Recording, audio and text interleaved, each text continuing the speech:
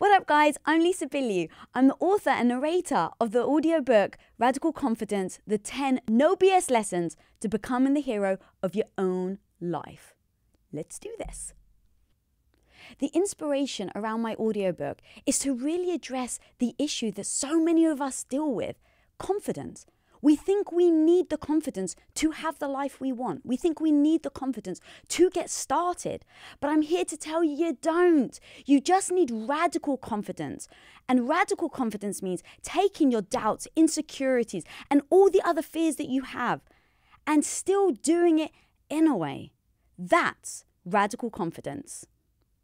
The thing people can do today to start becoming the hero of your own life is to recognize you and only you are the one that can actually make a change to your life.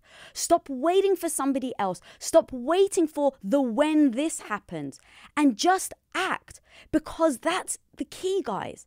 Is that to be the hero of your own life, you have to strap on that cape and you have to be willing to jump off so that you can see that you can freaking fly. I really hope that the listeners take away from this audiobook the fact that they have the tools and tips and tactics to turn to throughout their entire journey. Because, guys, getting the life you want and being the hero of your own life, it's not a one and done, it's not an overnight.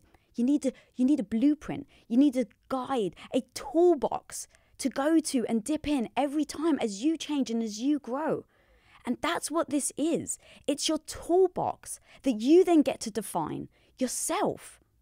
That's what radical confidence is, and that's what I hope people take away from listening to it, along with some laughs and some cries and some tears and some chuckles as well.